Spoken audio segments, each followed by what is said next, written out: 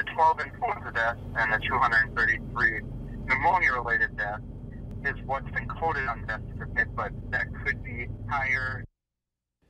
This year, we're seeing nearly four times the number of flu cases than a year ago, and in some cases, they have led to hospital stays, outbreaks, and death.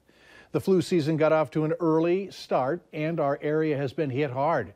The North Dakota Department of Health says so far there have been more than 3,000 confirmed cases of flu compared to about 800 this time last year. We have seen 155 influenza related hospitalizations for the season, and then um, 12 deaths related to influenza. Cumulative so far for the season, I guess we've seen 23 reported outbreaks of influenza like illnesses in long-term assisted basic care or group home settings. We've also received two reports of influenza A outbreaks in child care settings.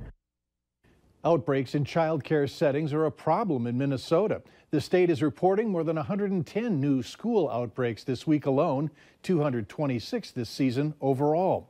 So what does it take to close school to stop an outbreak? Valley News Team's Veronica Marshall spoke to local schools about their procedures and what parents can do to help. She joins us live in the studio. Veronica? When it comes to closing school to stop the spread of the flu, it all comes down to where you live. In Moorhead, school nurses increase their monitoring of the situation once student absences reach 5%. They can then reach out to the Department of Health to analyze the situation and make a recommendation.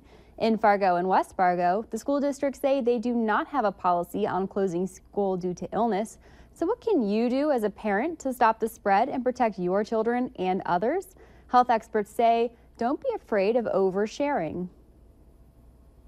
Oftentimes, secretaries, um, when a parent calls in, will ask those questions if they have a temperature, what their temperature is, if they're coughing, if they have a sore throat. It's really helpful if they can share symptoms so that um, they can see if there's a trend in a particular classroom.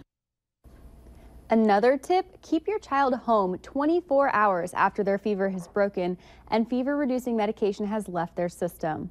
Veronica Marshall, Valley News Live.